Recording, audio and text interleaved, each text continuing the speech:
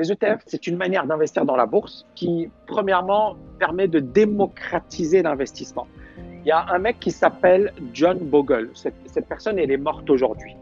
Et John Bogle, euh, il, a, il s'est basé sur les travaux de Samuelson, prix Nobel d'économie. Samuelson, il a dit, bon, bah, finalement, ça sert à rien de, de refaire la roue. Pour euh, investir en bourse, il suffit juste d'investir sur les indices. Et John Bogle, il s'est dit, waouh, c'est une idée de génie ça. Et il a créé un fonds indiciel, c'est un fonds sur lequel tu répliques un indice, d'accord? Et il s'est dit, ok, je vais proposer ça au grand public. tout le monde l'a pris pour un fou, tout le monde a dit, il est, malade ce mec. Et ensuite, il a dit la deuxième chose. Il a dit, ok, euh, je vais en plus non seulement le proposer au grand public, mais en plus mettre des frais très faibles, c'est-à-dire des commissions très faibles. Pourquoi? Comme je vous l'avais expliqué précédemment, les commissions vont tuer votre performance. Donc John Bogle, il a eu cette présence d'esprit de dire, un, euh, premièrement, on investit sur des indices, pas sur des actions. Deux, on a des frais très faibles. Et ensuite, ça c'était un fonds indiciel, gestion passive et compagnie. Ensuite, ça a donné lieu à des ETF. Et les ETF, c'est le même principe. Pas cher, liquide, transparent. D'accord? Et donc, n'importe quel particulier, au lieu d'investir de, sur des actions, etc., il peut investir sur des indices. L'avantage d'investir sur un indice, c'est que c'est diversifié, c'est-à-dire que tu as plein d'actions. Donc, si jamais une action fait faillite, c'est pas grave parce que tu as plein d'actions. Deuxièmement, tu joues une idée à long terme, c'est-à-dire l'idée que les indices représentent l'économie et l'économie crée de la valeur. Apple, Google, Facebook, etc. créent de la valeur. Et donc, toi, tu participes indirectement à cette création de la valeur en investissant. Donc, premièrement, tu as le meilleur des mondes, c'est pas cher. Deuxièmement, c'est liquide. Troisièmement, tu es diversifié. Et donc, les ETF jouent un rôle important dans la démocratisation de l'investissement. Sauf que, jusqu'à aujourd'hui, les ETF ne représentent qu'une infime partie de la gestion. Et la gestion représente un véritable scandale parce que 96% des gérants de portefeuille sont incapables de battre les marchés. C'est-à-dire que 96% des, gérants ne battent pas le marché. Donc, si tu achètes un ETF, tu fais mieux que 96% des gérants.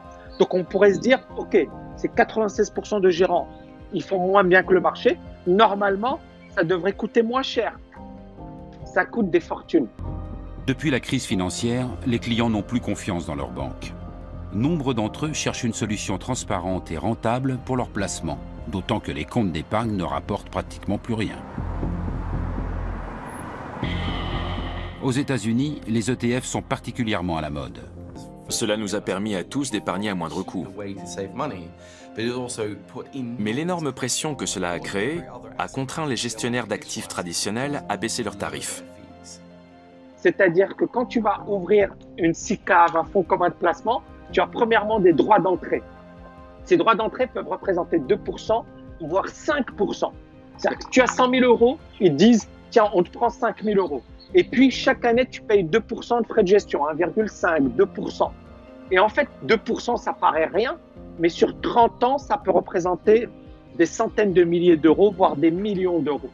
Et donc, tu te retrouves à investir dans un fonds qui fait moins bien que l'indice, qui coûte cher, et, tu te fais finalement arnaquer par rapport à ton argent. Donc les ETF aujourd'hui, c'est la meilleure manière d'investir en bourse à long terme. Il n'y a pas photo. Maintenant, il y a beaucoup d'ETF, il y a des milliers d'ETF.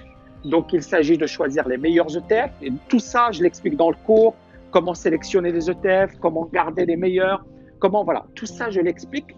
Mais les ETF aujourd'hui, c'est la manière la plus simple, la plus efficace d'investir en bourse. Voilà, tout simplement, et de travailler à long terme. Et la bourse, pour moi, si on devait comparer bourse versus immobilier, l'immobilier, pour moi, le gros avantage de l'immobilier, c'est le levier, le fait que la banque va te prêter de l'argent. Euh, l'inconvénient de l'immobilier, c'est que ça demande du boulot, c'est que c'est pas aussi simple qu'on vous fait croire et que bah, il y a beaucoup de dangers et que tu restes immobilisé pendant des années avec un crédit immobilier. Donc, quand tu prends une décision immobilière, il faut pas regarder tous les gens qui vous disent ouais c'est facile, euh, le cash flow positif. Non, c'est dur. Et donc, il faut vraiment considérer l'immobilier comme un job. D'accord? Il faut vraiment le considérer comme un job. Maintenant, ça peut être super intéressant.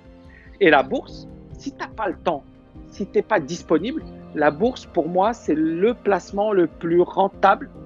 D'ailleurs, c'est même pas, c'est le placement le plus rentable au monde, le plus facile mais le plus dangereux si tu ne sais pas ce que tu fais. D'accord?